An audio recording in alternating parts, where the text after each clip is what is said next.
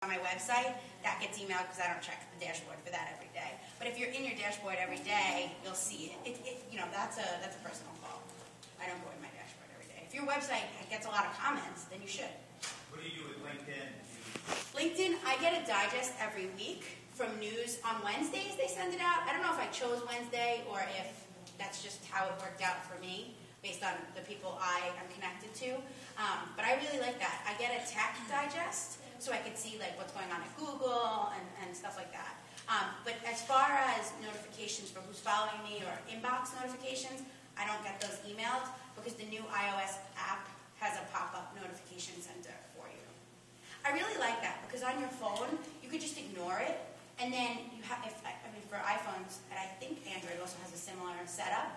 Everything stays in your notifications bar, so you can go back when you have five minutes and look at it. You don't have to, something that I do on the go, when I'm on the train, when I'm on the elliptical, when I'm, you know, in the middle of, of doing something that doesn't require me to focus my attention, my eyes up.